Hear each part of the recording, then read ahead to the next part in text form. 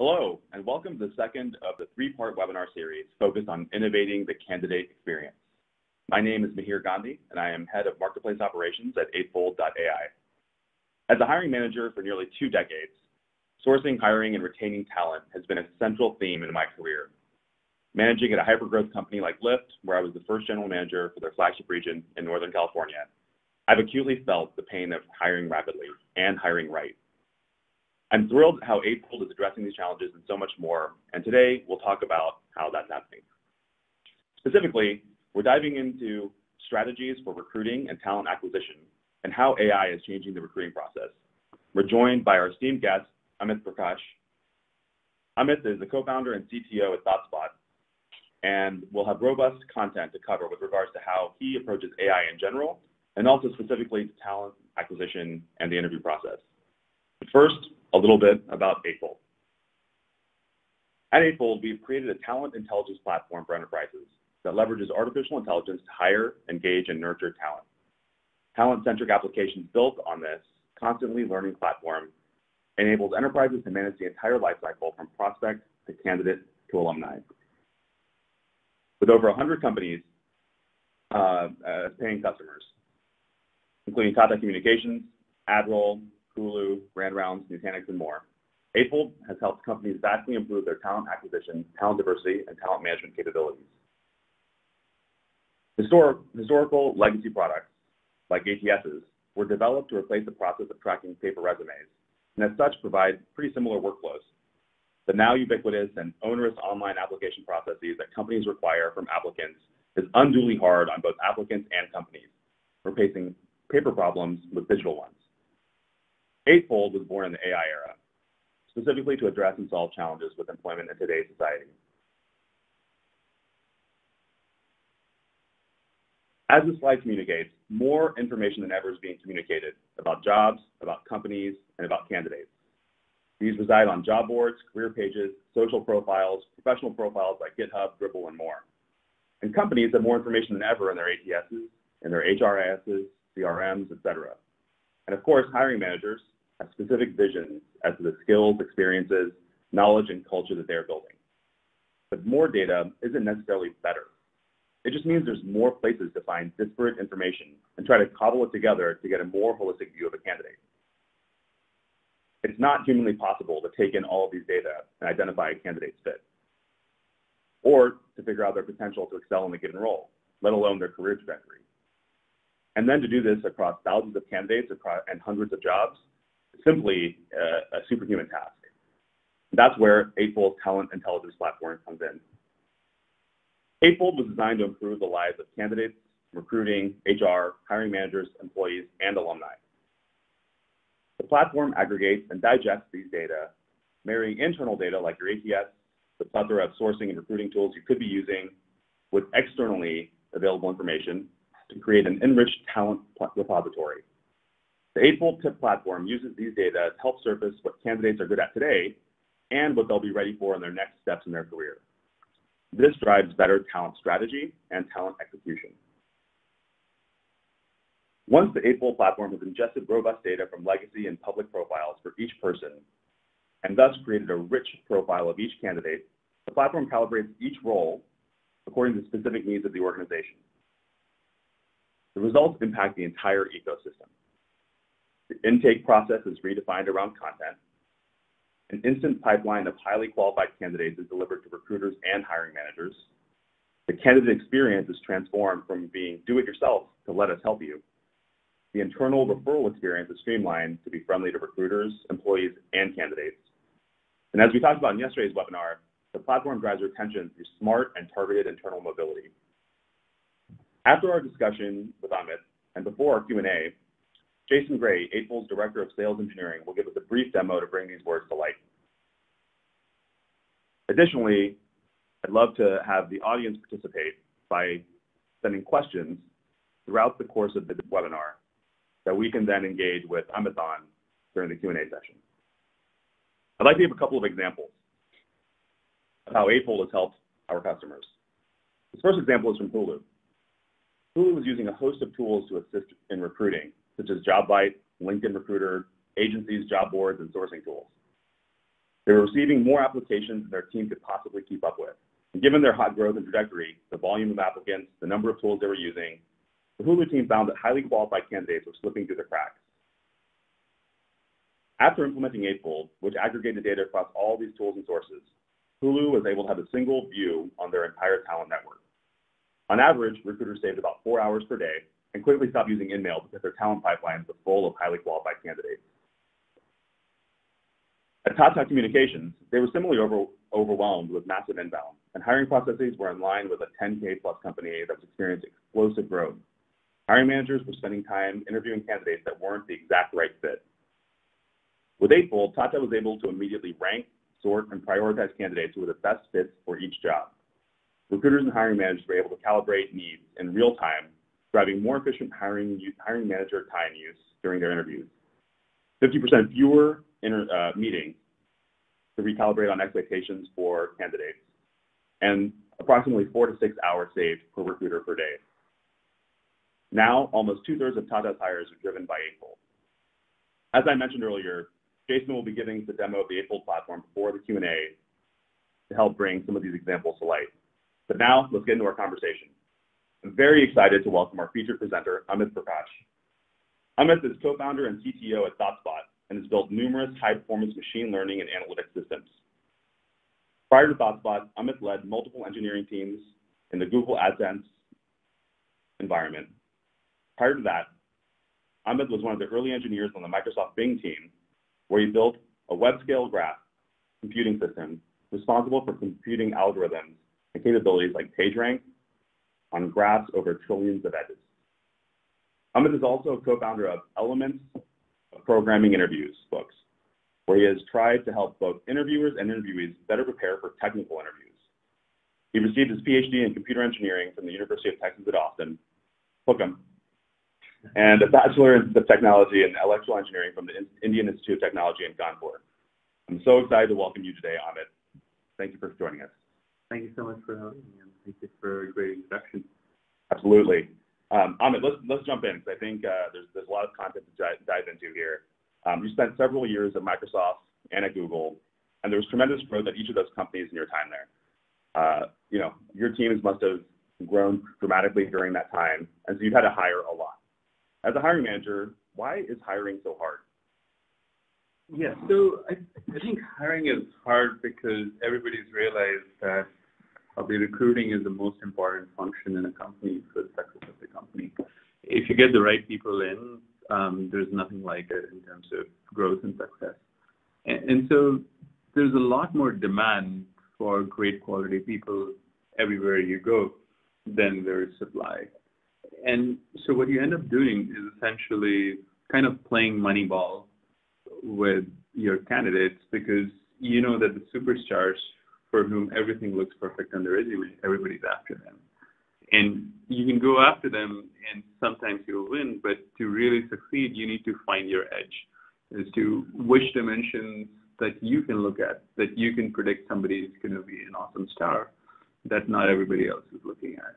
And I think that's where most of the recruiting energy needs to go. And today, it goes so much more into the process and uh, sort of mundane aspect of sifting through LinkedIn profiles and resumes and uh, um, just um, inbound applications. And um, that, that's what makes it very hard because at the end of the day, when you find the right candidate, you need to spend a lot of just one-on-one time with them to show them your vision, why it's going to be a successful um, place for them to come. Um, but to get to that point where you know who you're looking at is going to be a great candidate, there's so much effort that goes in, and there's such a small percentage of those efforts that actually pan out that you end up wasting a lot of very, very important um, bandwidth um, that if there was a better system, you you could actually concentrate on the right candidates so much more.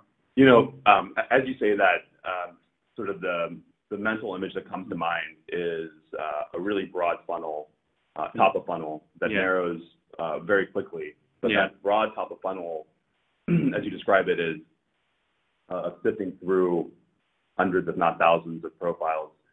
is pretty laborious and intensive. As a co-founder of, of ThoughtSpot and as a hiring manager, can you describe your interaction or engagement throughout that top of funnel piece and how you whittle it down to the few candidates that you're you're going after? Yeah.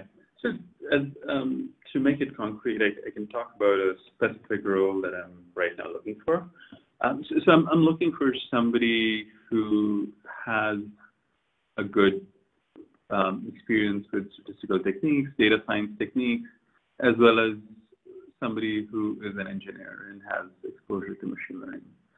And this being a hyped up field, almost everybody is writing those buzzwords on their resume. And like you do not cross a single resume where there's not a mention of machine learning or a mention of data science or something.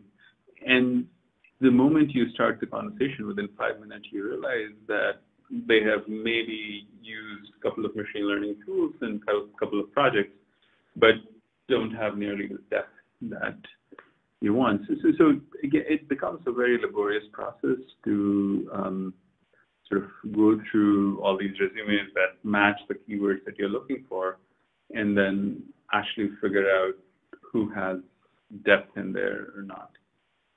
Um, does that Yeah, it, it, does. I think, you know, what you described is um, the ability to quickly ascertain um, the reality of someone's experiences mm-hmm. versus um, maybe the facade of, of what they purport to do.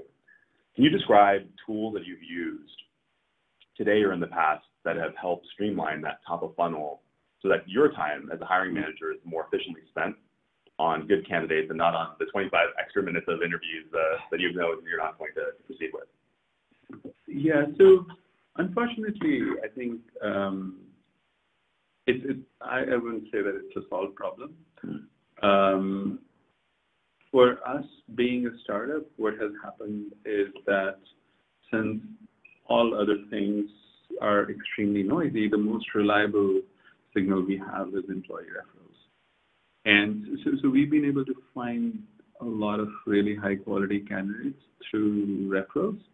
And at least a year ago, we were not even in a position to invest the human energy needed to go through all the inbound resumes and things like that, and we were ignoring that. Now we realize that there were a lot of high-value candidates in there that we could have gone after, and we just didn't have the manpower to go through it.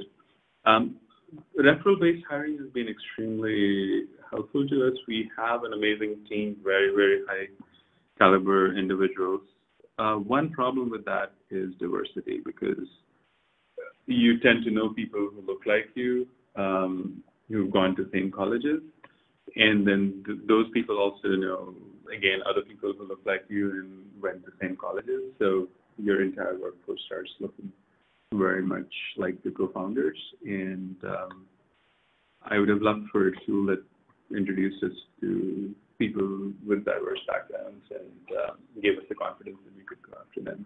You know, it's uh, we see something somewhat similar here at Eightfold, where when you grow from two to 10 to 20 and beyond, uh, each hire is incredibly important and uh, and impactful to the organization. That doesn't change when you're at 1,000 or 2,000 or 5,000.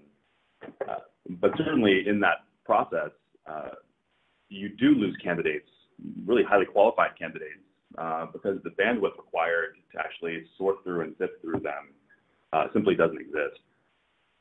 How have you seen, uh, you know, in your experience, this evolve over time? And can you describe, you know, to a recruiter or agency, what you're looking for in a candidate yeah. to help drive this forward? Yeah, so I, I think um, I don't think we have really innovated there. We still go through the painful process of writing a job description and um, talking through what is important and what is not. But one of the things that um, one of my mentors told me at Google is that most human beings are good at looking at maybe five or eight dimensions at most, and beyond that, it gets very hard for a human to sort of fit all the details in their mind and work through a lot of data. And that's where machines do a better job than humans, um, is when there's like thousands of dimensions that you need to care about. And a machine is going to be very dumb in terms of depth, but it's going to be great in terms of breadth. Right? Um, sorry, I lost my train of thought. No, no, that, that's helpful. You know, Yeah. when you when you say that, um, how do you? And I think your work at ThoughtSpot here is actually very pertinent. Yeah. You see AI and tools that drive um, those types of deeper insights, Mm. empowering the human element that is Yeah. required to do the work. Yeah, yeah. So, you know, I, I love the engineers in my team. I, think we have an amazing team. And what I tell my recruiting team is that, like, if you can just find me exactly these kind of people, um, just 10 more of them, that'll be fantastic. But, but it, it's very subjective to know, like, what does these kind of people mean? Do they need to have gone to same colleges? Do they need to have same job experience? Do they need to have worked on the same project? And so that's where a lot of subjectivity creeps in. And sometimes I see my view of who's the higher value candidate than the other is different from the recruiting teams. And that leads to missed opportunities in terms of like whose scheduling was prioritized higher or uh, like if somebody was just waiting um, for a week because were rushing through a whole bunch of other candidates. You know, it's interesting you say that. Um, you mentioned the job description process and frankly how broken job descriptions are. Uh, but but that is actually the candidate facing you know description of what they would be doing. The reality is you're looking for someone like someone else. Yeah. Uh, and when you say like someone else, can you help describe a little bit more about what that means? And how do you actually translate that to a recruiter that then translates that to whittling through the top funnel? Yeah, so we had a good success initially hiring engineers with you know years of experience from Google, and that was a great profile for us. Um, like people who spent a few years at Google, kind of the best place to learn sort of engineering in early years. Uh, but it, it's also very hard. Those are the people who are in very very high demand, and um, so so people like them again. Like there's so many dimensions to look at. It could be the college. It could be the project. It could be the quality of their GitHub project. It could be um, that they are friends with somebody that is in my trusted network. Um, it could be that they have published something that has uh, won awards or something like that. Yeah. In, in a conference that I know high quality stuff goes through. Um, and and that's where sort of once you spend a lot of time with your recruiter, they kind of get to see how you evaluate candidates and get a better and better picture over time. Yeah, you know, the dimensions that you outline um, are almost impossible to stack, stack rank Yeah. and prioritize when you Yeah. say a school like this Yeah. or experiences like this or evaluate their. And the reality is candidates are so diverse um, that the ability to stack rank and prioritize um, is a non-trivial task. Yep. Uh, you know, when you when you talk about spending a lot of time with your recruiters, can you talk a little bit about the recruiting channels that you've used, what you've seen from pros and cons of different types of recruiting channels, be it, uh, you know, um, ch- uh, advertising channels, Hmm. agencies, in-house Hmm. recruiters, and so on and so forth. Hmm. What's the level of success across these modalities? Yeah. Uh, what are the pros and cons? And Yeah. how do you spend your time investing across them? Yeah, yeah. So, in my personal experience, nothing works like your um, team's referrals, and so, so that's probably the highest priority by a factor of ten or so. Um, beyond that, I think um, we haven't had much success with agencies and such. There are few areas where it's very sort of routine hiring process where it's you don't have to look at many dimensions. Uh, you just look at few dimensions, and you you're okay with that. Um, in those cases, we've had decent success with uh, agencies, um, but most um, so the referral network is great, but it doesn't scale well. Yeah. And so the other thing is um, th- there are a lot of inbound candidates, and so essentially what we've done is that we've staffed up our recruiting team so that they can go through the all the inbound applications and figure out which ones are worth going after and which ones are not. You, know, that what you're describing is a bit of a tipping point, Yeah. uh, where you're going from being um, a hunter trying to um, get people to come into your organization to being uh, an organization that has so much inbound that now you need to staff up, Yeah. provide the tools and processes and resources Yeah. uh, to whittle through that. And uh, you know, I think one of the things you mentioned earlier is uh, when we were talking before webinars, there's very uh, qualified candidates who simply just fall through the cracks Yeah. uh, yeah. when you have that massive inbound. Can you talk about some of the challenges that you face with sourcing and screening Hmm. post tipping point when you Hmm. have, when you're fielding all the inbound and actually trying to whittle through those Yeah. those folks who are interested in working for you?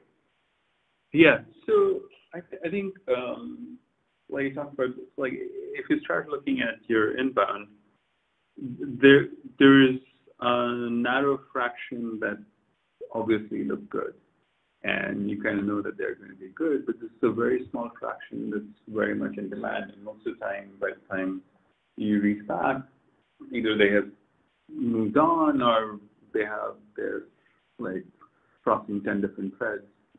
Um, so, so that's a great pool, but the success rate with that pool is not that great, right? And, and then that's where sort of creative thinking and um, sort of um, analytical approach comes in, where you find things that's not obvious to the market um, that are good predictors of success. Um, for example, there's a tiny company, not tiny actually, but a decent sized company in India called Directi. And over here, if we talk to people, nobody knows about them. But what we have found after hiring two, three people is that that was a fantastic training ground for a lot of great engineers a few years back. So anytime we see somebody from DirectI, we go after them. Um, similar thing that we found is that people may not have great pedigree, but if they have participated in programming contests, particularly a few good ones, um, that tends to be a very good indicator of their performance. Like they need other aspects too, which you can test in the interview, but in general, that's a good signal to go after. It, it is so hard to communicate that um, uh, uh, to a recruiter or to an agency. You know, if this, then that, Yeah. but not this. Yeah. Um, and oh, you know, we've seen some traction internally around this. Can you go, you know, Hmm. for, for lack of a better analogy, go fishing in, in that pond or in that part of the lake uh, where we have had success in the past and we think we have competitive advantage. If you were to take a step back from the existing modalities, can you talk about blank slate? What would an ideal sourcing process look like for you? Um, yeah, so I, I think an ideal sourcing process would exactly look like when I say, like, I have a team of five or 100 people, and I know that they are fantastic. Just find me five times more of that. Um, You, you almost don't need to say more than that. I mean, you shouldn't have to say more than that. Um, there's such rich data that already exists, um, not only in your head, but on their resumes and their publicly available information, that it should be the extent of which you um, of, of which you engage uh, at the top of funnel. yeah. When you The, the other thing that I will add to that is that not everybody that looks great is recruitable. So, so the other signal that I would love to be included in the sourcing process is people who are likely to move, right? And, and this could be based on how long they've been in the company or like if there's been any communication from their side to the world that they're ready to move on or, um, you know, like maybe stagnation in careers would be indicator. It, that's the piece that's hard, but that's that's kind of once you found that looks good and you found a signal that they're looking to move, that's when things really start moving. You, know, uh, those are not impossible to find, right? Uh, those data exist. They're just difficult to parse. If you take the time to look at someone's resume over a five or 10 year career span, you generally get a sense of could they be stagnating or ready to move? It takes a lot of time, a lot of resources to do that, and frankly, a fair amount of skill. Uh, when AI is developed correctly and applied in the right way, how do you see it helping recruiting? Yeah, so like I said, I think um, where AI does a fantastic job is when there's a lot more than you know eight or ten dimensions to consider, and you have some labeled training data that lets the machine figure out what correlations are meaningful and what correlations are not meaningful. Uh, and this seems to be um, a great problem to apply AI to. And, and so in an ideal world, all these different signals that are available about a candidate would be processed by an AI engine and just gives you, uh, you know, probability scale what is the likelihood that A, they are going to have great career potential, and B, that they're likely to consider a move. A lot of that that time is currently spent by recruiters guessing, yeah. hoping, frankly, spraying and praying and that time is pretty valuable time that could be spent nurturing, engaging, educating candidates. Yeah. Can you talk a little bit about the importance of not just the outreach, mm-hmm. but the actual the nurturing process between finding candidates that could be a good fit yeah. and actually getting them in the front door? Yeah, yeah. So that, that's the other thing that um, the it requires significant amount of investment on the candidate side to prove to us that they are um, worth spending time on. And that's where rub is because um, you the, the actual human part of recruiting is also very, very resource intensive. Um, I often find my engineering teams burnt out with the number of interviews that they have to give an aggressive growth targets. Um, and sometimes we talk about why don't we set up a programming assignment to filter um, down the people that we interview. But then that's asking somebody to invest a chunk of their time when they don't even know whether they are interested in this opportunity or not somebody needs to spend the time painting the vision for them and telling them why it's going to be a great move for their career. Um, so that, whole process requires um, a lot of time and compassion and passion. Um, and uh, if we have great signals to sort of narrow down where we spend that, um, nothing like it you know, there's always this balance between do I keep sourcing for top of funnel? Yeah. Um, or do I spend time trying to help candidates learn more about the organization? Yeah. And, uh, you know, the human element associated with that that you described uh, is paramount. Yeah. Uh, but the, the tension between, you know, spending time doing one versus the other is a natural tension. And, and I think it's a place where where AI can help really turbocharge a recruiter's um, function yeah. um, and help them allocate their time very differently yeah. rather than 50-50 or 80-20 being 20-80 yeah. um, along those lines. I think, you know, as, as you think about that and, you know, as, as we continue to think about how progress is made. It's going out and finding new candidates and new candidates and new candidates, right? Just nonstop. but then there's this massive repository of candidates that have been found that maybe were lost. Yeah. Um, and or uh, came through the door at the wrong time. Yeah. And now because of the growth of an organization, they could be a great fit for that role. Yeah. How do you currently go back through that repository of people who have either indicated interest Yeah. in, in your organization but maybe weren't the right fit at the right time, Yeah.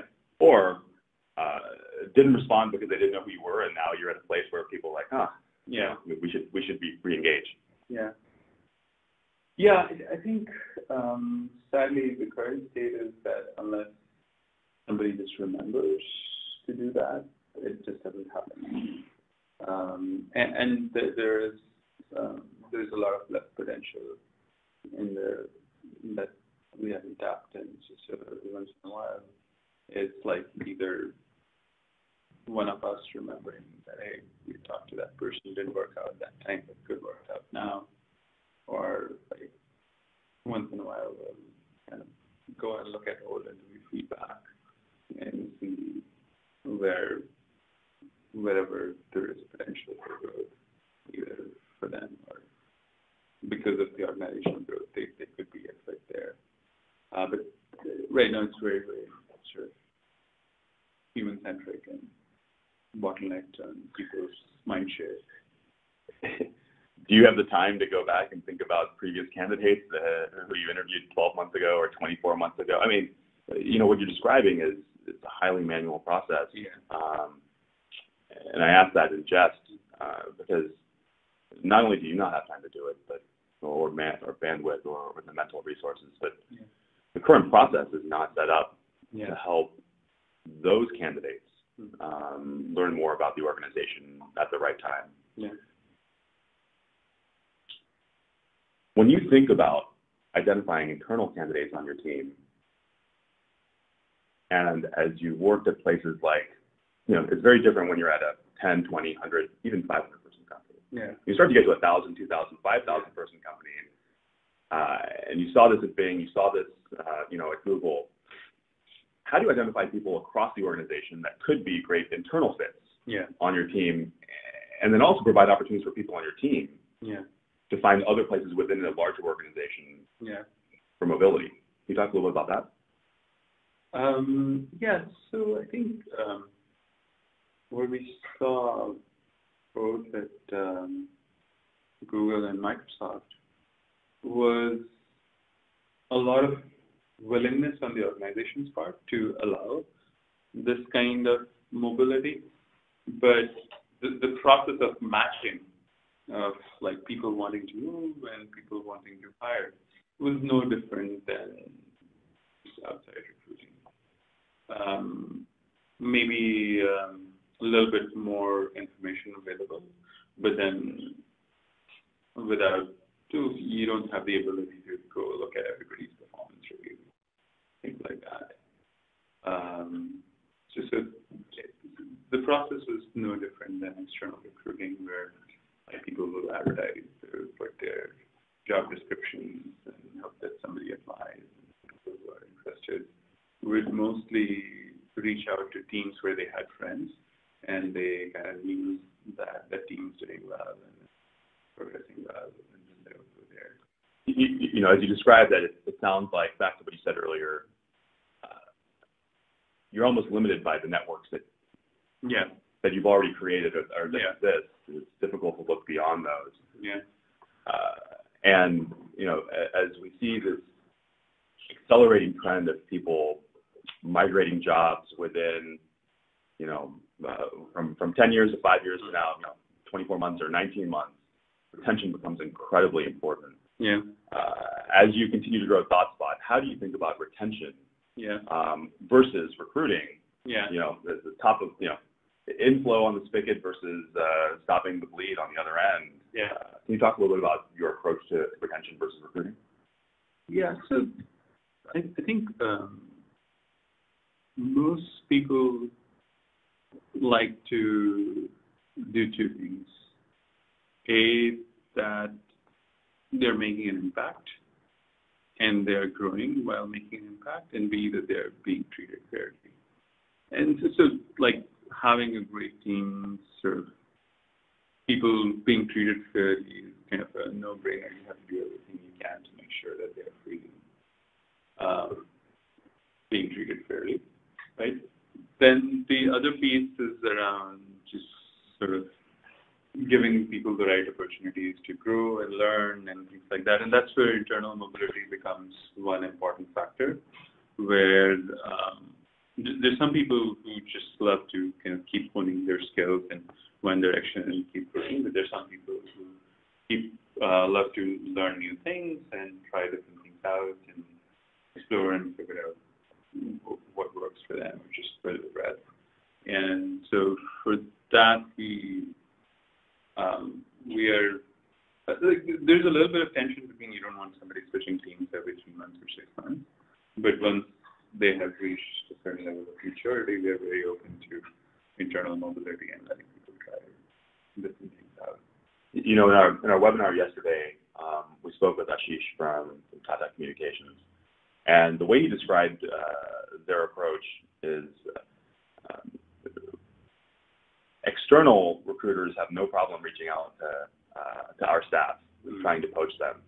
Um, why shouldn't we also be able to uh, use our own talent yeah. um, as a repository uh, to um, to find growth opportunities? Yeah. Uh, and uh, you know, Tata is at a very different scale and stage than Spot, ThoughtSpot is.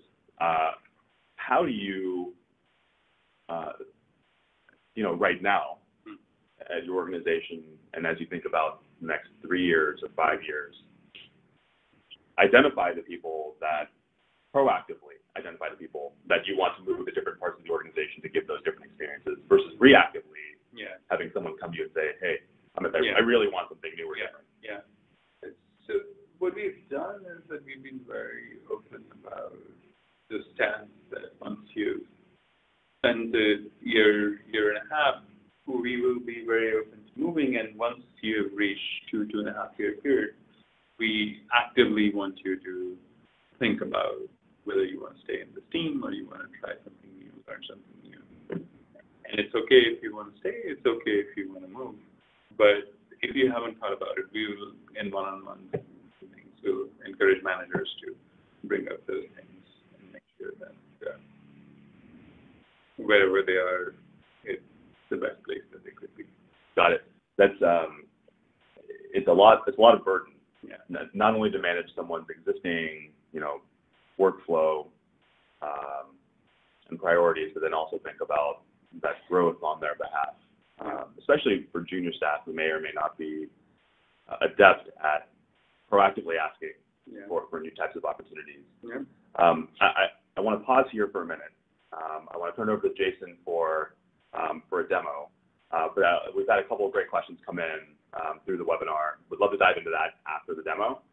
Um, so hold on for just a minute, and then we'll dive back in. I think, you know, uh, I'd like to introduce at this point Jason Gray. Uh, he'll be giving us a demo of the Eightfold platform, and uh, would love to dive into it. Great. Thank you very much uh, for your time today. I should be uh, sharing my window now so that everyone can see it. Wonderful. So as we go into the demo, the key takeaway here is the deep AI matching and how it, you see it throughout the platform as it relates to the candidate experience, sourcing and screening, the candidate nurturing, and internal employee mobility.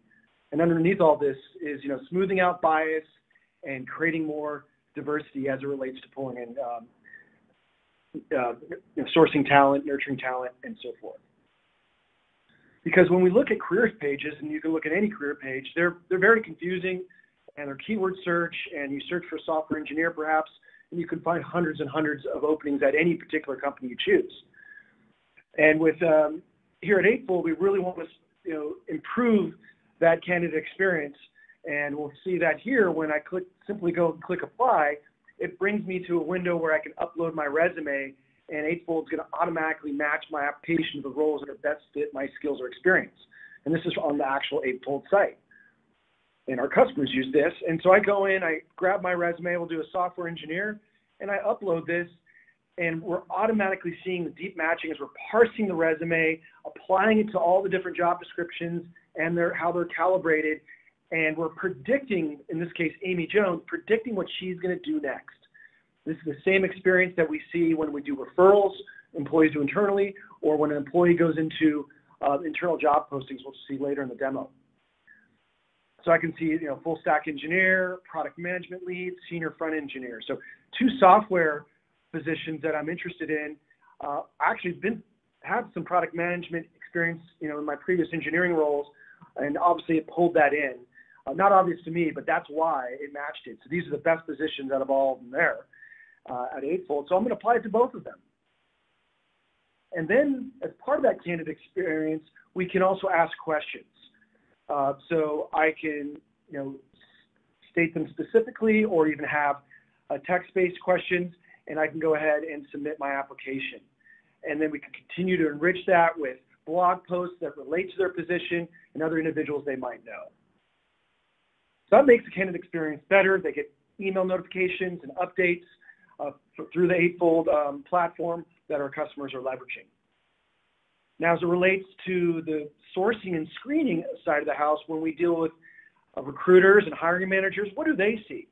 And we really want to promote ease of use so that they're not spending all this time going through physical resumes, going onto job boards, trying to find individuals. Rather, they come in right in the morning and they can get right to work with the best matches available. We see this with um, on the as we land here. We see all the positions on my right hand side that I'm managing, and then I see a news feed of updates on the various positions. So recent, for software engineer, here I see there's 17 recent applicants.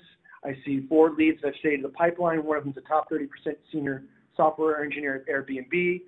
And I also see 26 new leads and two likely to respond. So we actually see some of that AI matching happening here because we're looking at the career trajectory, the skills, the titles to match the right open positions. And we also look at, well, someone's been in that position for a long time. Thus, compared to the 10 million resumes that we um, we footprint against, it says, well, there's two that are definitely looking that they're most likely would move. So that's interesting to me. And so now as a recruiter, the first position I want to work on here is the software engineer because I'm excited as I have a whole host of new applicants and I can see that new applicants 167. I also have leads here 174, 176 now. It's building constantly because it's pulling from an applicant tracking system. And those are people that might have applied in the past. But first, before I go to the people that applied in the past, I want to look at the people that are fresh and new and interested. And I can quickly, you know, if I am in a scenario around diversity where we have, a, in this case, a very skewed um, uh, team of men, perhaps I want to look specifically at women. I can look for those women and I can see that they're, I can see if they're at top US schools, top Canadian schools. And as I mouse over, I will I also show here the relevance. So as we're doing this matching, we're matching in skills and titles and ideal candidates, either ones that already work here at my company or perhaps that I pulled right down from a job board that, oh, this person would be perfect. Um, school relevance, work, and so forth and so on. Now, I'm going to uncheck diversity women, and I'm just going to see just the top ranking here. And I see Ankur Garg, that's a net new one. And I'm going to go ahead and drill in and work down my list and see what is Ankur like. He's a lead software engineer. He's got eight years of total experience, and then we see some of the more of the matching, eight years of relevant experience to this position. So everything he's done is relevant to this position. And I look over here in the highlights, and this is where really interesting things start to bubble up. He's a top 30% senior software engineer at Snapdeal and top 40% lead as well through his different um, positions he's held there. And it's shown that what does that career growth mean? Well, it took him 6.9 years to get there compared to his peers it took 7.9. And so if I can see these top percentiles, that's going to help me hone in further on an ideal candidate. A lot of times these candidates also might be, you know, maybe he just got his PhD, he maybe had a year or two experience before that after undergrad, and now, and he's also had some internships, he's really buffed out his resume. Well, Eightfold's going to be able to identify that because we also bring in social elements in like GitHub. Do they have a lot of followers? Are they committing or um, doing reposts with projects? In Stack Overflow, are they asking or answering questions?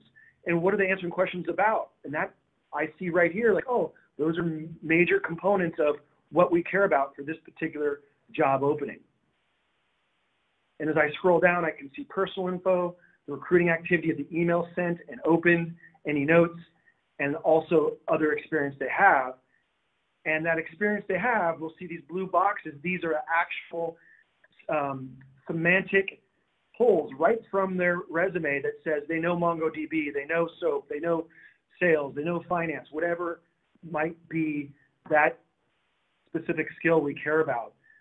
This deep AI uncovers these hidden meanings. So I, as a recruiter, don't have to go through resume after resume. I just get these top exact matches that are best for me. Now, I might want to get a bunch of these resumes over to the hiring manager, but we want to promote diversity, diversity, so we'd like to mask those. And I actually can make that happen through um, sending them over. So let's just take a look at the example of Ankura here, who would be masked for the hiring manager. Now I can't see his actual name. That might suggest ethnicity. I don't see perhaps the schools he went to. And any of this can be masked so that we can make sure it's based on meritocracy of his experience or her experience in the uh, application process. The hiring manager checks a couple boxes on the people they like, sends it back to the recruiter who will then continuing continue the, the screening um, exercise. All of this would have taken a tremendous amount of time if I didn't have this deeply embedded AI algorithms taking care of me. So in my morning, I work the new applicants, I work the leads that are actually passive applicants that Eightfold is also matched to this. I have my pipeline, people I've added there, and also those ones I'm actively interviewing. Great, I've done some of the phone screens, I've scheduled some face-to-face -face interviews, much more efficient than I have in the past. Now I've, I've got some, I've got a charter, we have a lot of open positions that will be upcoming in machine learning, and wouldn't it be great if I could go and send a notice out to those applicants in my applicant tracking system that, that are passive that I'd like to try to bubble up. And we can do that. By clicking on new campaign here, I select the, in this case, I'm going to share a blog or web page, but it could be alumni, it could be specific opening or location, this is literally like marketing automation embedded right into the system. And I'm going to go ahead and grab this great blog post from our site or from another area on the web that you know suggests our thought leadership and was, would target the right people. All of a sudden, you'll notice here that my target audience went down to just under 11,000. If I take that back out again and uh, press return, I would see that number, you know, further increase back up. Or I might want to say, well, this is a diversity scenario. We want to, you know, target women, and it went from 10,000 to 1,800 now. And then furthermore, I might want to just select a degree like a, you know, a master's degree, and now we're down to 782 possible passive applicants in our ATS. This is all about taking your existing investments, all that money you've poured in over time trying to recruit people and hire people, and and thus bubble those up and engage them for new campaigns. The beauty behind this and what our customers are seeing and you're going to see here with uh, when I drill into a particular campaign that's already run, I see the number of sent campaigns, I see the opens, and on average, our customers are seeing over 50% open rates because of this deep matching of how we parse the content of that blog post that I showed and match it to the right people in my applicant tracking system. I can further see you know, what that email looked like, the audience, deliverability of that email, and ultimately the recipients and I can see how engaged they are. Like Nicole here, two opens, 20 clicks, and also Niven and Michael. I'm going to go ahead and share these right now with the hiring manager and let them know that these look like awesome applicants from the previous uh, um, attempts to get them on board. So let's go after them again. Now, all of a sudden, this ability to nurture candidates and do it quickly is, is not a dream, it's an actuality. Finally, let's go take a look at the internal, mobi internal mobility, where I am a, in the sales department, I'm looking, are there any positions that are relevant to me? And here we go. Um, it is predicted that I'm ready to move perhaps to a director of sales role. And so I can drill into that, look at those particular jobs or job, or even look at other jobs that might be of interest to me, my applications, my referrals. So I can take a resume, upload it. There may be hundreds of openings. It doesn't matter to me because Eightfold will just automatically match them for me. Career planner, I can find mentors within my company, as well as projects that might be of interest to me that I want to, you know, increase my, uh, improve my skills and so forth. Now, finally, I also might be an administrator in the HR department, and I can come in here and look at people in our organization and come down here and say, well, who's a high attrition risk? People perhaps have been in positions too long, and thus we want to make sure that we retain this talent and keep moving forward. And so I can look for those and be proactive. And thanks to the matching, it's identified the, you know, their career trajectory as being an opportunity for us to improve. So as we look at this, the candidate experience, sourcing and screening, this wonderful nurturing and employee mobility has this deep AI matching to drive tremendous efficiencies and ease of use for all those involved in the process. I'll kick it back over to me here to, to finish up. Jason, uh, thanks so much. I, I think um, you touched on some key elements that Amit covered um, during uh, the earlier part of the presentation in terms of challenges and opportunities. And I'd love to kick it back over to Amit with a couple of, of questions from the audience. Uh, you know, as we talk about um, AI, uh, just broadly as, a, as an industry, taking over key functions or uh, uh, key parts of, of our daily life, uh, a question that came in is, will AI replace humans? Uh, and I think that's broader than necessarily just recruiting. Uh, how do you think about AI versus threat versus an ally? Yeah, I, I think it's just um, a silly thing that plays a lot in press. I, I don't think we are anywhere close to AI being anything but an extremely powerful tool to help everybody realize their further potential.